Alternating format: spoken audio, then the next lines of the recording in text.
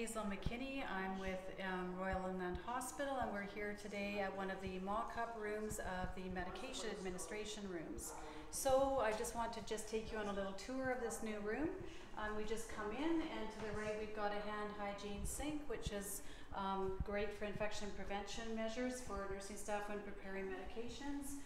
The, nurses will come in with their medication carts that they actually have on wheels, and they'll be able to come in park their carts here in this large spacious area and then attend to their Omnicell medication cabinets, which are towers of medications that are provided on this wall, as well as a medication fridge.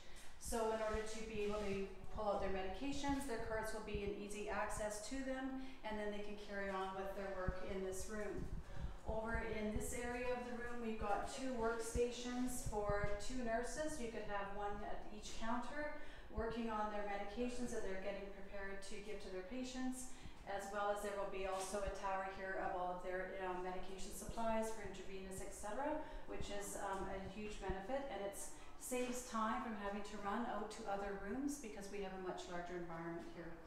And when we come over into this area, you can take your medication cart and permanently park it because there is space and you can have a couple of carts at the same time and then the nurses can go about and do their work.